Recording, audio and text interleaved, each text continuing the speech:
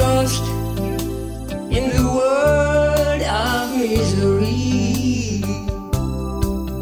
All things never seemed to bring meaning to my life, not until Jesus rearranged my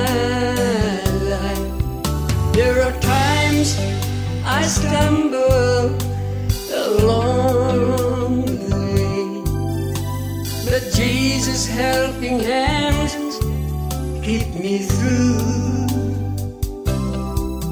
I will bless His name forever.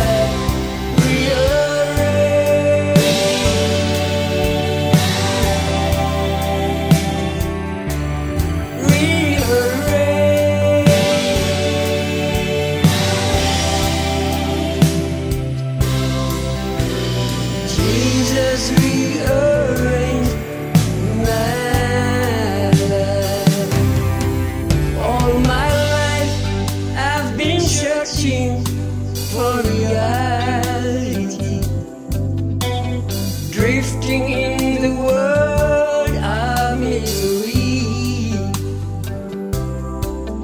I bless the name of Jesus. His love brought me back home,